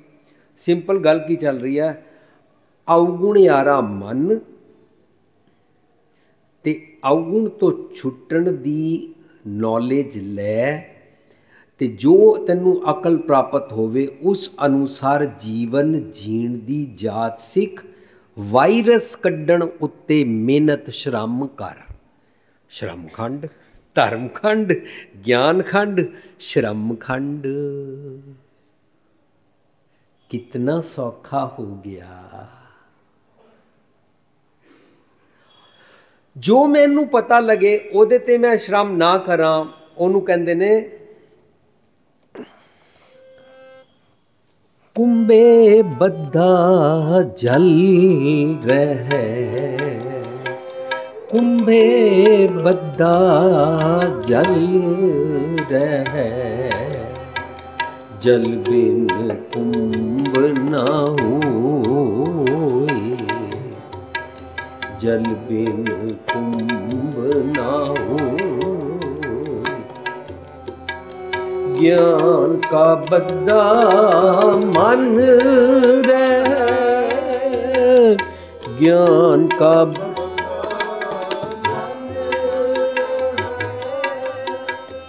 ਗੁਰ ਬਿਨ ਗਿਆਨ ਨਾ ਹੋਏ। ਗੁਰ ਬਿਨ ਗਿਆਨ ਨਾ ਹੋਏ। ਗੁਰ ਬਿਨ ਗਿਆਨ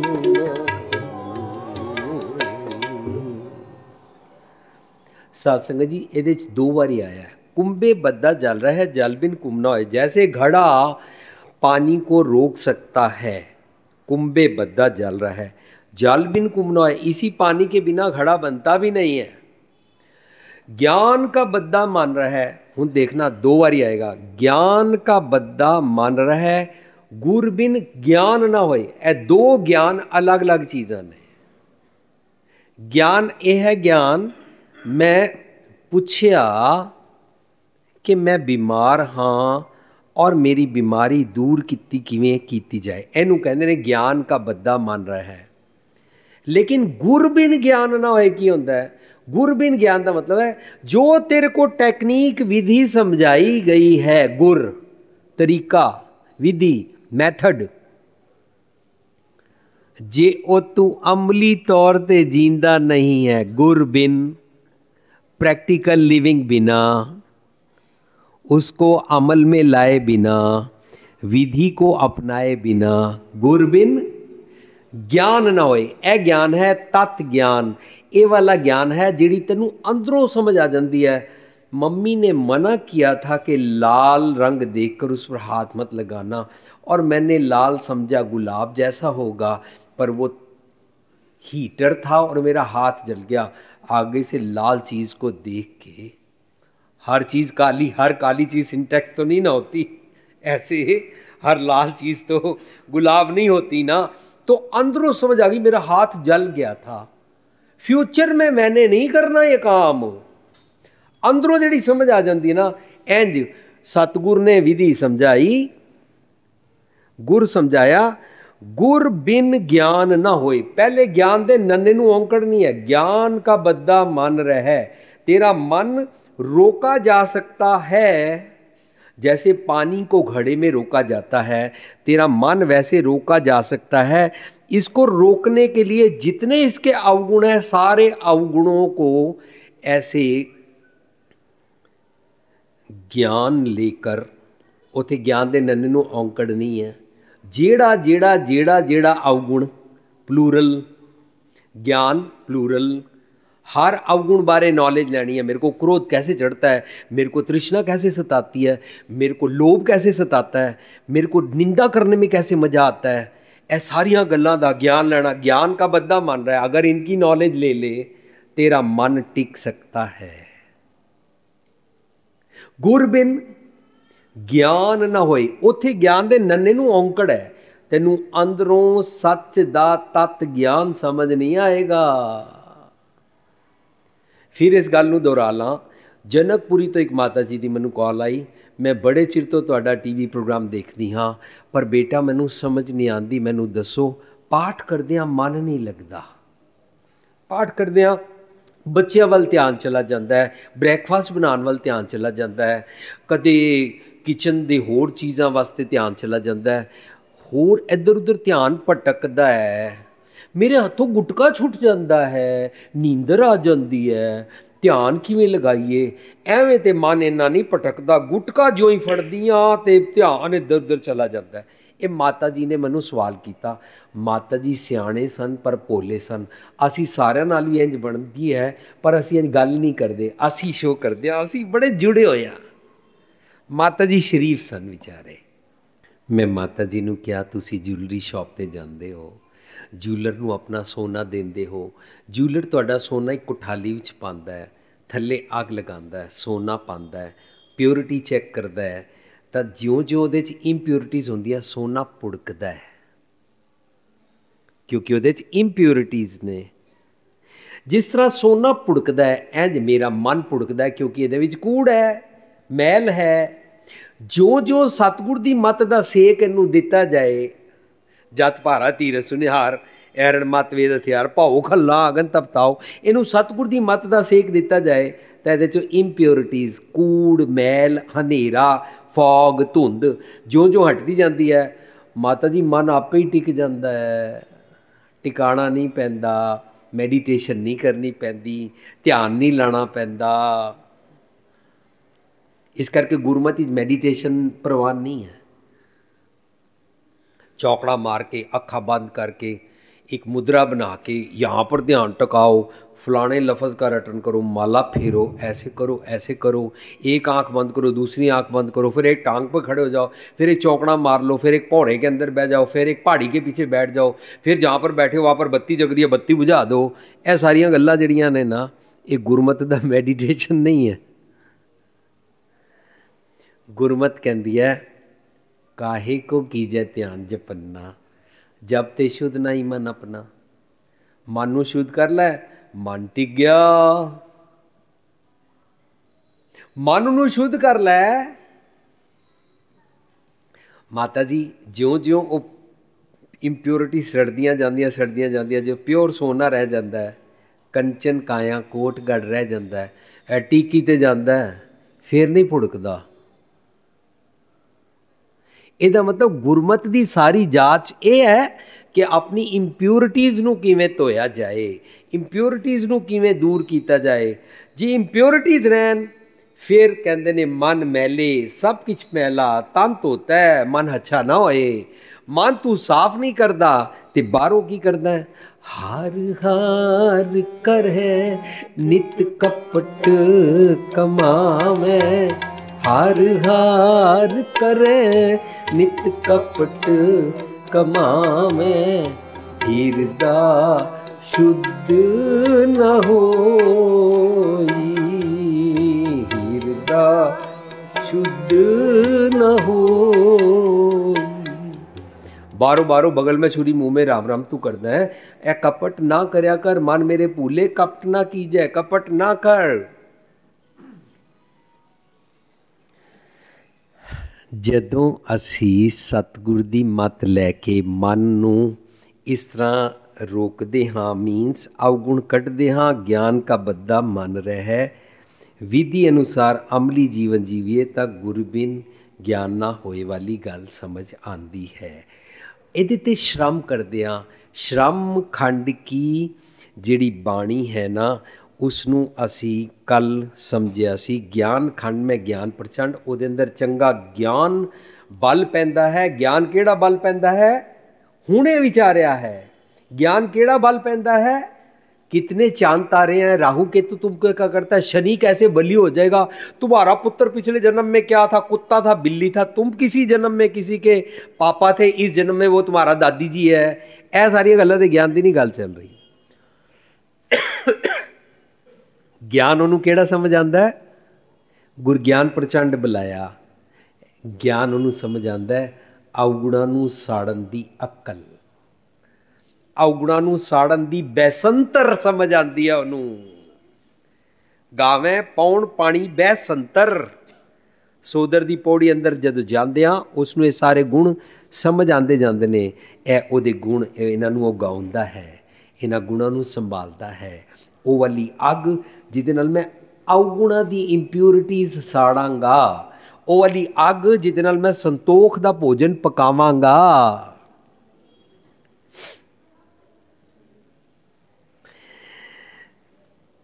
ਗਿਆਨ ਖੰਡ ਮੈਂ ਗਿਆਨ ਪ੍ਰਚੰਡ, ਤਿੱਥੇ ਨਾਦ ਬਿਨੋਦ ਕੋਡ ਆਨੰਦ।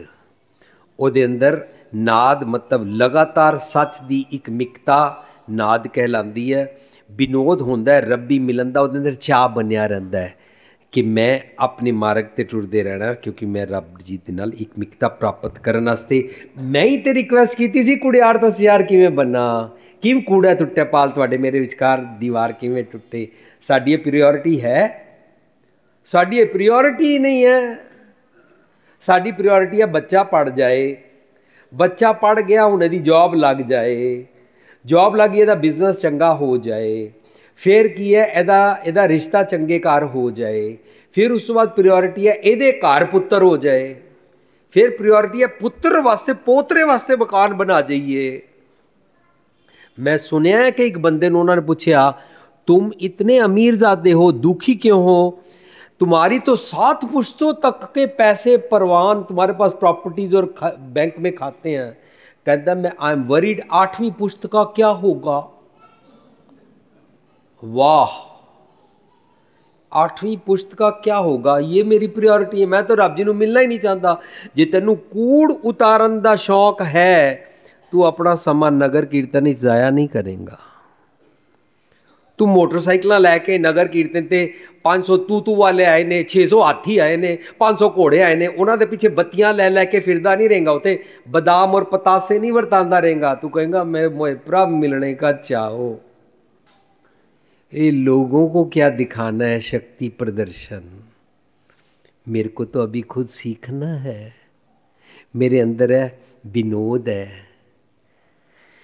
ਤਿੱਥੇ ਨਾਦ ਵਿਨੋਦ ਕੋਡ ਆਨੰਦ, ਜਦੋਂ ਚੰਗੇ ਗੁਣ ਪ੍ਰਾਪਤ ਕਰਦਾ ਹੈ, ਆਪਣਾ ਰੋਗ ਦੂਰ ਕਰਨ ਵਾਸਤੇ ਉਹਨਾਂ ਤੇ ਸ਼ਰਮ ਕਰਦਾ ਹੈ ਨਾ, ਤਾਂ ਉਹ ਜਿਸ ਅਵਸਥਾ ਵਿੱਚ ਹੁੰਦਾ ਹੈ, ਉਹਦੇ ਅੰਦਰ ਕੋਡ ਹੁੰਦਾ ਹੈ, ਝੁਕਾਵ, ਨਿਮਰਤਾ, ਸਮਰਪਣ ਬਣਿਆ ਰਹਿੰਦਾ ਹੈ ਕਿ ਮੈਂ ਇਸ ਨੂੰ ਫੋਲੋ ਕਰਦੇ ਰਹਿਣਾ ਕਿਉਂਕਿ ਮੈਂ ਆਪਣੇ ਰੱਬ ਜੀ ਨੂੰ ਮਿਲਣਾ ਮੇਰਾ ਇੱਕ ਫੋਕਸ ਹੈ ਤੇ ਇਸ ਆਨੰਦ ਖੇੜੇ ਵਿੱਚ ਰਹਿੰਦਾ ਹੈ। ਔਰ ਇਸ ਆਨੰਦ ਖੇੜੇ ਨੂੰ ਉੱਥੇ ਤੱਕ ਪ੍ਰਾਪਤ ਕਰਦਾ ਜਿੱਥੇ ਜਾ ਕੇ ਉਸ ਦਾ ਮਨ ਕਹਿਣਾ ਸ਼ੁਰੂ ਕਰ ਦੇ ਆਨੰਦ ਪਿਆ ਮੇਰੀ ਮਾਏ, ਸਤਿਗੁਰ ਮੈਂ ਪਾਇਆ। ਸਾਨੂੰ ਤੇ ਆਨੰਦ ਹੀ ਨਹੀਂ ਆਇਆ ਤਾਂ ਹੀ ਤੇ ਗਾਲਾਂ ਕੱਢਦੇ ਹਾਂ। ਤਾਂ ਹੀ ਤੇ ਨਿੰਦਾ ਕਰਦੇ ਹਾਂ। ਆਨੰਦ ਆਨੰਦ ਸਭ ਕੋ ਕਹੇ, ਆਨੰਦ ਗੁਰ ਤੇ ਜਾਣਿਆ। ਜਾਣਿਆ ਆਨੰਦ, ਸਦਾ ਗੁਰ ਤੇ ਕਿਰਪਾ ਕਰੇ ਪਿਆਰਿਆ। ਸਤਗੁਰ ਦੀ ਕਿਰਪਾ ਕੀ ਹੈ? ਸਤਗੁਰ ਸਮਝਾਉਂਦਾ ਹੈ। ਸਤਗੁਰ ਦੀ ਹਰ ਗੱਲ ਜਿਹੜੀ ਸਮਝਾਈ ਹੈ, ਉਹਨੂੰ ਕਿਰਪਾ ਕਹਿੰਦੇ ਨੇ। ਮੈਂ ਸੋਚ ਰਿਹਾ ਸੀ ਘਰ ਪੁੱਤਰ ਹੋ ਜਾਏ, ਇਹਨੂੰ ਕਿਰਪਾ ਕਹਿੰਦੇ ਨੇ। ਮੈਂ ਸੋਚਦਾ ਸੀ ਮਰਸੀਡੀਜ਼ ਕਾਰ ਮਿਲ ਜਾਏ, ਇਹਨੂੰ ਕਿਰਪਾ ਕਹਿੰਦੇ ਨੇ। ਮੈਂ ਸੋਚਦਾ ਸੀ ਫੈਕਟਰੀ ਕੇ ਲਈ ਲੋਨ ਮਿਲ ਜਾਏ, ਇਹਨੂੰ ਕਿਰਪਾ ਕਹਿੰਦੇ ਨੇ। ਸਤਗੁਰ ਦੀ ਮੱਤ ਨੂੰ ਕਿਰਪਾ ਕਹਿੰਦੇ ਨੇ। ਕਰ ਕਿਰਪਾ ਕਿਲਵਿਖ ਕੱਟੇ। ਇਸ ਸ਼ਬਦ ਵਿੱਚ ਕਿਲਵਿਖ ਕੀ ਹੈ? ਆਖਿਰੀ ਜਾਏਗਾ। ਕਰ ਕਿਰਪਾ ਕਿਲਵਿਖ ਮਤਲਬ ਮੰਦੇ ਖਿਆਲਾਂ ਦਾ ਸੁਭਾਅ ਕੱਟਿਆ। ਮੇਰੇ ਮਨ ਦੇ ਖਿਆਲਾਂ ਦੇ ਪਾਪਾਂ ਵਾਲਾ ਖਿਆਲ ਕੱਟਿਆ। ਕਰ ਕਿਰਪਾ ਕਿਲੀ ਕੱਟੇ, ਗਿਆਨ ਅੰਜਨ ਸਾਰਿਆ ਮਨੂੰ ਇੱਕ ਅਕਲ ਦਿੱਤੀ। ਅੰਦਰੋਂ ਜਿਨਕਾ ਮੋਹ ਟੁੱਟਾ, ਮੇਰਾ ਮੋਹ ਬੱਚਿਆਂ ਨਾਲ ਨਹੀਂ ਤੋੜਿਆ। ਮੇਰਾ ਮੋਹ ਮੇਰੇ ਭੈੜੇ ਖਿਆਲ ਕਿਲਵਿਖ ਦੀ ਥਾਟ ਪ੍ਰੋਸੈਸ ਦੀ ਅਟੈਚਮੈਂਟ ਦੇ ਨਾਲ ਤੋੜਿਆ। ਕਰ ਕਿਰਪਾ ਕਿਲਵਿਖ ਕੱਟੇ, ਗਿਆਨ ਅੰਜਨ ਸਾਰਿਆ, ਅੰਦਰੋਂ ਜਿਨਕਾ ਮੋਹ ਟੁੱਟਾ ਤਿਨਕਾ ਸ਼ਬਦ ਸੱਚਾ ਸਵਾਰਿਆ। ਕਹਿ ਨਾਨਕ, ਇਹ ਆਨੰਦ ਹੈ। ਹੁਣ ਕਿਲਵਿਖ ਮੇਰਾ ਕੀ ਕੱਟਿਆ? कर कृपा किलविख कटे ज्ञानंजन सार्या। अंदरो जिनका मोह टुट्टा तिनका शब्द। शब्द का मतलब जबान से बोलने का ढंग ये वाली जबान नहीं, मन की जबान। तिनका शब्द सच्चा सवारिया। ए, कृपा है। सतगुरु जी, सुमत बख्शे ने किवें बोलिया कर? गाला ना कड्या कर। ਤੇਰ ਮੇਰ ਨਾ ਕਰਿਆ ਕਰ ਜਾਤ ਪਾਤ ਨਾ ਕਰਿਆ ਕਰ ਹਿੰਦੂ ਮੁਸਲਮਾਨ ਸਿੱਖ ਈਸਾਈ ਨਫ਼ਰਤਾਂ ਨਾ ਕਰਿਆ ਕਰ ਨਿੰਦਾ ਚੁਗਲੀ ਨਾ ਕਰਿਆ ਕਰ ਜ਼ਬਾਨ ਫਿਕਸ ਅਪ ਕਰ ਲੈ ਕਿਸੇ ਦਾ ਔਗੁਣ ਦੇਖ ਕੇ ਪੰਡਿਆ ਨਾ ਕਰ ਉਹਦੀ ਸ਼ਾਰੇ ਸ਼ਹਿਰ 'ਚ ਪੰਡੀ ਨਾ ਕਰਿਆ ਕਰ जो छिद्र देख निंदक उमा है किसी की कश्ती में छेद देख लिया हाँ हमने छेद देख लिया अब तो डूबेगा ਨਹੀਂ ਕਿਸੇ ਦਾ ਛੇਦ ਦੇਖ ਲਿਆ ਤਰਸ ਕਰ ਉਹਦਾ ਛੇਦ ਬੰਦ ਕਰਾਉਣ ਦੀ ਕੋਸ਼ਿਸ਼ ਕਰ ਤੂੰ ਤਾਂ ਕਿਸੇ ਦਾ ਛੇਦ ਕਿਸੇ ਦਾ ਜਰਾ ਜਿਹਾ ਔਗੁਣ ਦੇਖ ਲੈ ਛੇਤੀ ਛੇਤੀ ਲੋਕਾਂ ਨੂੰ ਜਾ ਕੇ ਦੱਸਦਾ ਹੈ ਜਲਦੀ ਜਲਦੀ ਟੈਕਸਟ ਮੈਸੇਜ ਪਾਣਾ ਹੈ ਜਲਦੀ ਜਲਦੀ ਫੋਨ ਕਾਲਾਂ ਕਰਦਾ ਹੈ ਜਲਦੀ ਜਲਦੀ ਸਮਾਂ ਕੱਢਦਾ ਹੈ ਆਓ ਰਲ ਕੇ ਬੈਠੀਏ ਅੱਜ ਦੀ ਪਾਰਟੀ ਖਤਮ ਹੋ ਗਈ आओ सारे शहर की निंदा शुरू करिए मेरे को भी ये गंदी खबर पता है बताऊं तेरी जबान ठीक नहीं ਤਾਰ ਕਿਰਪਾ ਕਿਲਵੀ ਕਟੇ ਗਿਆਨ ਅੰਜਨ। ਸਾਰਿਆਂ ਅੰਦਰੋਂ ਜਿਨਕਾ ਮੋਹ ਟੁੱਟਾ, ਤਿਨਕਾ ਸ਼ਬਦ। ਸੱਚਾ ਸਵਾਰਿਆ, ਸਵਾਰ ਦਿੰਦੇ ਨੇ ਉਹਦੇ ਬੋਲਣ ਦਾ ਢੰਗ। ਉਹ ਕੋਈ ਪ੍ਰੈਜ਼ੈਂਟ ਹੋਵੇ, ਨਾ ਹੋਵੇ, ਕੋਈ ਬੁਰਾ ਕਰੇ, ਨਾ ਕਰੇ। ਉਹ ਜ਼ੁਬਾਨ ਨਾਲ ਨਿੰਦਾ ਨਹੀਂ ਕਰਦਾ, ਗਾਲਾਂ ਨਹੀਂ ਕੱਢਦਾ, ਬੁਰਾ ਭਲਾ ਨਹੀਂ ਕਹਿੰਦਾ। ਕਿ ਇਸ ਨੂੰ ਸੱਤੀ ਕੱਪੜੀ ਅੱਗ ਲਾਉਣ ਵਾਸਤੇ ਉਸ ਨੂੰ ਲੈਟ ਡਾਊਨ ਨਹੀਂ ਕਰਦਾ। ਚਾਰ ਬੰਦਿਆਂ ਦੇ ਸਾਹਮਣੇ ਉਹਦੀ ਬੇਇੱਜ਼ਤੀ ਨਹੀਂ ਕਰਦਾ। ਕੱਲਿਆਂ ਬੈਠ ਕੇ ਵੀ ਕਿਸੇ ਗਰੀਬ ਨੂੰ ਕੋਲ ਬੁਲਾ ਕੇ ਪਿਆਰ ਕਰਦਾ ਹੈ ਉਸ ਨੂੰ ਠਿੱਠ ਨਹੀਂ ਕਰਦਾ ਹੈ ਕਿਉਂਕਿ ਉਹ ਸਿੱਖ ਗਿਆ ਹੈ ਗਰੀਬਾਂ ਉੱਪਰ ਜੇ ਖਿੰਜੇ ਦਾੜੀ पार ब्रह्म सा अगन में साड़ी किसी को भी अपने से ज़रा सा कमज़ोर समझता है उसकी बेइज्जती ना कर ਉਹ ਨੰਬਰ ਉਹਦੀ ਜ਼ਬਾਨ ਜੋ ਫਿਕਸਅਪ ਹੋ ਗਈ ਹੈ ਜਿਹਦੀ ਜ਼ਬਾਨ ਫਿਕਸਅਪ ਹੋ ਜਾਂਦੀ ਹੈ ਨਾ ਉਹ ਆਪਣੇ ਆਫਿਸ 'ਚ ਕਰੋੜਾਂ ਕਮਾਉਂਦਾ ਹੈ ਉਹਦੇ ਥੱਲੇ ਵਾਲੇ 10 10 20 20 ਲੱਖ 50 50 ਲੱਖ ਤਨਖਾਹਾਂ ਲੈਂਦੇ ਨੇ ਪਰ ਉਹ ਚਪੜਾਸੀ ਨੂੰ ਵੀ ਕਹਿੰਦਾ ਚਪੜਾਸੀ ਭਈਆ ਕੀ ਹਾਲ ਹੈ ठीक हो रात को ठीक सोए थे आपकी माता जी बीमार तो नहीं है ਇੰਜ ਕਹਿ ਕੇ ਉਹ ਆਫਿਸ ਦੇ ਅੰਦਰ ਜਾਂਦਾ ਚਪੜਾਸੀ ਉਹਦਾ ਖੈਰ ਖਵਾ ਬਣਿਆ ਰਹਿੰਦਾ ਹੈ ਮੈਂ ਰੀਸੈਂਟਲੀ ਪੜਿਆ ਔਰ ਮੇਰੀਆਂ ਭੁੱਬਾਂ ਨਿਕਲ ਗਈਆਂ। ਕੋਲਡ ਸਟੋਰੇਜ ਦਾ ਇੱਕ ਬਹੁਤ ਵੱਡਾ ਆਫੀਸਰ ਔਰ ਉਹ ਕਹਿੰਦਾ ਹੈ ਕਿ ਕੋਲਡ ਸਟੋਰੇਜ ਦੇ ਸਾਰੇ ਦਰਵਾਜ਼ੇ ਆਟੋਮੈਟਿਕਲੀ ਕੰਪਿਊਟਰਾਈਜ਼ਡ ਸਿਸਟਮ ਨਾਲ ਬੰਦ ਹੁੰਦੇ ਸਨ। ਮੈਂ ਰੋਜ਼ ਸਵੇਰੇ 8 ਵਜੇ ਤੋਂ 5 ਵਜੇ ਤੱਕ ਕੰਮ ਕਰਦਾ ਸੀ। ਅੱਜ ਮੇਰੇ ਸਾਰੇ ਸਾਥੀ 200 ਮੇਰੇ ਨਾਲ ਕੰਮ ਕਰਨ ਵਾਲੇ ਸਾਰੇ ਸਾਥੀ ਆਫਿਸ ਬੰਦ ਕਰਕੇ ਜਾ ਚੁੱਕੇ ਸਨ। ਮੈਨੂੰ ਇੱਕ ਖਾਸ ਚੀਜ਼ ਕੋਲਡ ਸਟੋਰੇਜ ਦੇ ਅੰਦਰ ਜਾ ਕੇ ਚੈੱਕ ਕਰਨੀ ਸੀ। ਮੈਂ ਕੋਲਡ ਸਟੋਰੇਜ ਦੇ ਅੰਦਰ ਗਿਆ, ਲਾਈਟ ਚਲੀ ਗਈ। ਡੋਰਸ ਲੌਕ ਹੋ ਗਏ। ਔਰ ਮੈਨੂੰ ਪਤਾ ਸੀ ਸਾਰਾ ਆਫਿਸ ਖਾਲੀ ਹੋ ਗਿਆ ਹੈ। ਔਰ ਮੈਨੂੰ ਪਤਾ ਸੀ ਕਿ ਮੈਨੂੰ ਡੋਰ ਖੋਲਣਾ ਨਹੀਂ ਆਂਦਾ ਮੈਨੂੰ ਪਤਾ ਸੀ ਕਿ ਇਹ ਡੋਰ ਖੁੱਲ ਵੀ ਨਹੀਂ ਸਕਦਾ ਕਿਉਂਕਿ ਬੱਤੀ ਚਲੀ ਗਈ ਹੈ। ਕੰਪਿਊਟਰ ਸਿਸਟਮ ਕੰਮ ਨਹੀਂ ਕਰ ਰਿਹਾ, ਕੋਈ ਰਿਮੋਟ ਕੰਮ ਨਹੀਂ ਆਏਗਾ। ਕੁੰਡੀ ਇਹਦੀ ਖੁੱਲਦੀ ਨਹੀਂ ਹੈ ਆਟੋਮੈਟਿਕ ਲੌਕਸ ਨੇ। ਕਹਿੰਦਾ, ਮੈਨੂੰ ਲੱਗ ਰਿਹਾ ਸੀ ਜੇ ਮੈਂ ਇੱਥੇ 2 ਘੰਟੇ ਵੀ ਇਸ ਕੋਲਡ ਸਟੋਰੇਜ ਅੰਦਰ ਰਿਹਾ, ਮੈਂ ਜੰਮ ਕੇ ਮਰ ਜਾਵਾਂਗਾ ਇਸ ਠੰਡ ਵਿੱਚ ਕਿੰਨਾ ਮਾਈਨਸ ਡਿਗਰੀ ਉਹਦੇ ਅੰਦਰ ਟੈਂਪਰੇਚਰ ਹੁੰਦਾ ਫਰੋਜ਼ਨ ਟੈਂਪਰੇਚਰ ਹੁੰਦਾ ਹੈ ਕਹਿੰਦਾ 5 ਦੇ ਪੌਣੇ 6 ਹੋ ਗਏ ਔਰ ਮੇਰਾ ਸਾਹ ਸੁੱਕੀ ਜਾ ਰਿਹਾ ਹੈ ਫਰੋਜ਼ਨ ਕੋਲਡ ਸਟੋਰੇਜ ਦੇ ਅੰਦਰ ਮੈਨੂੰ ਡਰ ਨਾਲ ਪਸੀਨੇ ਆ ਰਹੇ ਸਨ ਔਰ ਉਹ ਕਹਿੰਦਾ ਕੋਲਡ ਸਟੋਰੇਜ ਦਾ ਬੂਆ ਖੋਲਿਆ ਪਤਾ ਕਿਸ ਨੇ ਚਪੜਾਸੀ ਨੇ ਕਹਿੰਦਾ ਮੈਂ ਚਪੜਾਸੀ ਨੂੰ ਪੁੱਛਿਆ आपको मालूम है कि मैं अंदर फंस गया हूं मैंने तो ऊंची आवाज मारी बाहर किसी को सुनाई नहीं देती कोल्ड स्टोरेज बिल्कुल एयर टाइट डोर्स लॉक होंगे ने चपड़ासी कहता मेरे को आवाज़ कोई नहीं सुनाई दी दरअसल जब आप सुबह आते हैं ना तो यहाँ पर 200 एम्प्लॉई आते हैं।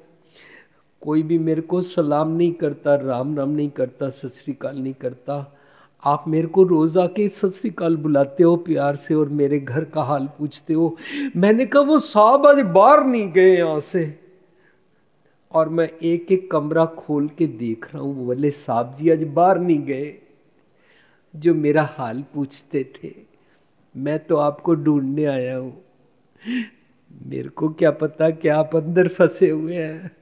मैं तो एक एक कमरा खोज रहा हूँ, क्योंकि साहब आप ही तो रोज मेरे को इतने प्यार हमदर्दी से मेरा हाल पूछते थे। और जाते हुए मेरे को थापड़ा दे के जाते थे। आज आपसे मिलन नहीं हुआ था।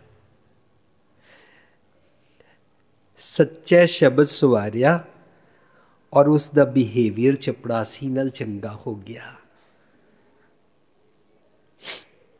ਜਿਹਦਾ ਬਿਹੇਵੀਅਰ ਚੰਗਾ ਹੋ ਜਾਂਦਾ ਨਾ, ਉਹ ਸ਼ਰਮ ਖੰਡ ਦੀ ਅਵਸਥਾ ਵਿੱਚ ਹੈ। ਉਹਦੇ ਅੰਦਰ ਗਿਆਨ ਪ੍ਰਚੰਡ ਬਲ ਚੁੱਕਾ ਹੈ। ਉਹ ਆਪਣਾ ਅਵਗੁਣ ਸਵਾਰ ਲੈਂਦਾ ਹੈ। ਉਹ ਆਪਣੀ ਨਿੰਦਕ ਰਸਨਾ ਵਿੱਚ ਰਸ ਭਰ ਲੈਂਦਾ ਹੈ।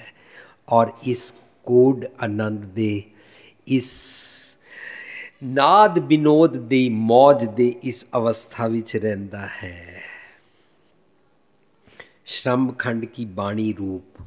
ਉਸ ਨੂੰ ਸ਼ਰਮ ਖੰਡ ਦੇ ਅੰਦਰ ਜੋ ਜੋ ਚੰਗੇ ਗੁਣ ਅੰਦਰੋਂ ਬਾਣੀ ਉਸ ਨੂੰ ਨਿਕਲ ਨਿਕਲ ਕੇ ਆਂਦੀ ਹੈ। ਜੋ ਜੋ ਅੰਦਰੋਂ ਸੱਚ ਦਾ ਖਿਆਲ ਨਿਕਲ ਕੇ ਆਂਦਾ ਹੈ ਉਸ ਨੂੰ ਨਿਤ ਨਵਾਂ ਰੂਪ ਚੜਦਾ ਜਾਂਦਾ ਹੈ। ਉਹਦੀਆਂ ਅੱਖਾਂ ਸੁੰਦਰ ਹੋ ਜਾਂਦੀਆਂ ਨੇ, ਨਫ਼ਰਤ ਵਾਲੀਆਂ ਨਹੀਂ ਰਹਿੰਦੀਆਂ ਨੇ, ਵਿਤਕਰੇ ਵਾਲੀਆਂ ਨਹੀਂ ਰਹਿੰਦੀਆਂ ਨੇ ਇਕੁਐਲਿਟੀ ਨਾਲ ਦੇਖਣ ਦੀ ਉਹਨੂੰ ਜਾਚ ਆ ਜਾਂਦੀ ਹੈ। ਦੋਈ ਦੋਈ ਲੋਚਨ ਪੇਖਾ ਹੋ ਹਰ ਬਿਨ ਅਵਰ ਨਾ ਦੇਖਾ ਦੀ ਉਹਦੀ ਪ੍ਰੈਕਟਿਸ ਹੋ ਜਾਂਦੀ ਹੈ, ਉਹਦਾ ਸੁਭਾਅ ਬਣ ਜਾਂਦਾ ਹੈ। ਸ਼ਰਮ ਖੰਡ ਕੀ ਬਾਣੀ ਰੂਪ, ਤਿੱਥੈ ਘਾੜਤ ਹੈ ਬਹੁਤ ਨੂਪ, ਉਹਦੀ ਬੇਮਿਸਾਲ ਅਨੂਪ, ਉਹਦੀ ਬੇਅੰਤ ਚੰਗੇ ਗੁਣਾ ਦਾ ਰੂਪ ਉਹਦਾ ਚੜਦਾ ਜਾਂਦਾ ਹੈ ਔਰ ਉਹਦੀ ਨਵੇਂ ਨਵੇਂ ਚੰਗੇ ਗੁਣਾ ਦੀ ਘਾੜਤ ਹੁੰਦੀ ਜਾਂਦੀ ਹੈ। ਤਿੱਥੈ ਘਾੜਤ, ਤਿੱਥੈ ਕੀ ਹੈ? ਜਦੋਂ ਸ਼ਰਮ ਖੰਡ ਦੀ ਅਵਸਥਾ ਚ ਹੁੰਦਾ ਹੈ ਐਟ that ਸਟੇਜ ਉਸ ਦੀ ਕਾੜਤ ਹੁੰਦੀ ਜਾਂਦੀ ਹੈ। ਤਾਂ ਕਿ ਗੱਲਾਂ ਕੱਥੀਆਂ ਨਾ ਜਾਏ ਉਸ ਦੇ ਬਾਰੇ ਬਿਆਨ ਤੇ ਨਹੀਂ ਕੀਤਾ ਜਾ ਸਕਦਾ, ਲੇਕਿਨ ਉਸ ਨੂੰ ਜਿਉਂ-ਜਿਉਂ ਹੋਰ ਅੰਦਰੋਂ ਬਾਣੀ ਸਮਝ ਆਂਦੀ ਜਾਂਦੀ ਹੈ। ਜੇ ਕੋ ਕਹੇ, ਅੰਦਰੋਂ ਸਤਿਗੁਰੂ ਜੀ ਉਹਨੂੰ ਕਹਿੰਦੇ ਨੇ, ਪਿੱਛੇ ਸੁਣਨ ਤੋਂ ਬਾਅਦ ਆਫਟਰਵਰਡਸ ਪਛ ਤਾਏ ਉਸ ਦੇ ਪਿੱਛੇ ਪੈਸ਼ਨ ਦੇ ਨਾਲ ਬਰਨਿੰਗ ਡਿਜ਼ਾਇਰ ਦੇ ਨਾਲ ਉਹਨੂੰ ਫੋਲੋ ਕਰਦਾ ਜਾਂਦਾ ਹੈ। ਉਹ ਕਿਸ ਤਰ੍ਹਾਂ ਟੁੱਟਦਾ ਜਾਂਦਾ ਹੈ? ਹਰ ਕੇ ਸੰਤ ਬਤਾਵੋ ਮਾਰਗ, ਹਮ ਪੀਛੇ लाग चली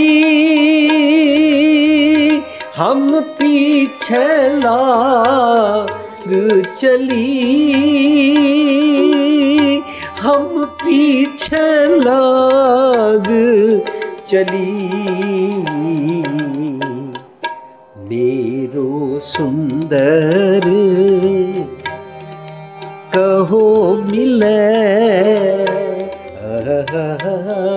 कहो मिले ਕਿਤ ਗਲੀ ਉਹ ਸੱਚ ਦਾ ਮਾਰਗ ਪੁੱਛੀ ਜਾਂਦਾ ਹੈ ਸੱਚ ਦੇ ਮਾਰਗ ਤੇ ਸ਼ਰਮ ਕਰਦਾ ਜਾਂਦਾ ਹੈ ਹਮ ਪਿੱਛੇ ਲਾਗ ਚਲੀ ਉਹਨੂੰ ਫੋਲੋ ਕਰਦਾ ਜਾਂਦਾ ਹੈ ਮਨੁੱਖ ਨੂੰ ਨਹੀਂ ਬੰਦਿਆਂ ਨੂੰ ਨਹੀਂ ਫੋਲੋ ਕਰਦਾ ਸੱਚ ਦੀ ਗੱਲ ਨੂੰ ਫੋਲੋ ਕਰਦਾ ਜਾਂਦਾ ਹੈ ਕਿਉਂਕਿ ਉਹ ਸੱਚ ਦੇ ਗੁਣਾ ਤੇ ਹਰ ਕੇ ਸੰਤ ਦਾ ਮਤਲਬ ਵਰਚੂਸ ਚੰਗੇ ਚੰਗੇ ਗੁਣ। ਬਤਾਵੋ ਮਾਰਗ, ਉਸ ਮਾਰਗ ਤੇ ਟੁਰਦਾ ਹੈ। ਚਰਨ ਚਲੋ ਮਾਰਗ ਗੋਬਿੰਦ ਤੇ। ਉਹਨੂੰ ਆਪਣੇ ਪ੍ਰੀਤਮ ਪਿਆਰੇ ਨੂੰ ਜੋ ਮਿਲਣਾ ਹੈ, ਕੂੜ ਕੀ ਪਾਲ ਪੂਰੀ ਤਰ੍ਹਾਂ ਤੋੜਨੀ ਹੈ, ਵਿੱਚੋਂ ਗੈਪ ਖਤਮ ਕਰਨਾ ਹੈ। ਤਿੱਥੈ ਕੜੀਐ ਸੁਰਤ ਮਤ ਮਨ ਬੁੱਧ। ਉਹ ਮਨ ਕਰਕੇ ਮਨ ਨੀਵਾ ਕਰ ਲੈਂਦਾ, ਉਹਦੀ ਸੁਰਤ ਮਤ ਬੁੱਧ ਉੱਚੀ ਹੋ ਜਾਂਦੀ ਹੈ ਤਿੱਥੈ ਕੜੀਐ ਸੁਰਤਮਤ ਮਨ ਬੁੱਧ, ਤਿੱਥੈ ਕੜੀਐ ਸੁਰਾ ਸਿਦਾ ਕੀ ਸੁਧ। ਸਮੁੰਦਰ ਦੇ ਵਿੱਚੋਂ ਜਿਹੜੇ ਰਤਨ ਪ੍ਰਾਪਤ ਹੁੰਦੇ, ਉਹਨੂੰ ਸੁਰਾ ਕਹਿੰਦੇ ਨੇ। ਸਿਧਾ ਉਹ ਚੰਗੇ ਚੰਗੇ ਗੁਣਾਂ ਨੂੰ ਸਿਧਾ ਲੈਂਦਾ, ਪ੍ਰੈਕਟਿਸ ਕਰ ਲੈਂਦਾ ਸੁਭਾਅ ਅਤੇ ਸੁਧ ਉਹਨੂੰ ਸੱਚ ਦੀ ਸੁਧ ਸੋਜੀ ਹੋ ਜਾਂਦੀ ਹੈ ਇਹ ਵਾਲੀ ਜੀਵਨ ਜਾਚ ਉਹ ਸਿੱਖ ਜਾਂਦਾ ਹੈ, ਪ੍ਰੈਕਟਿਸ ਕਰਦਾ ਜਾਂਦਾ ਹੈ ਔਰ ਦਿਨੋ ਦਿਨ ਕੂੜ ਤੋਂ ਛੁੱਟਦਾ ਜਾਂਦਾ ਹੈ। ਉਸ ਨੂੰ ਅਗਲੀ ਅਵਸਥਾ ਫਿਰ ਸਮਝ ਆਉਂਦੀ ਹੈ। ਕਰਮ ਖੰਡ ਕੀ ਬਾਣੀ ਜ਼ੋਰ। ਇੱਥੋਂ ਅਸੀਂ ਆਪਣੇ ਟੌਪਿਕ ਨੂੰ ਕੱਲ ਅੱਗੇ ਐਂਟਰ ਕਰਾਂਗੇ।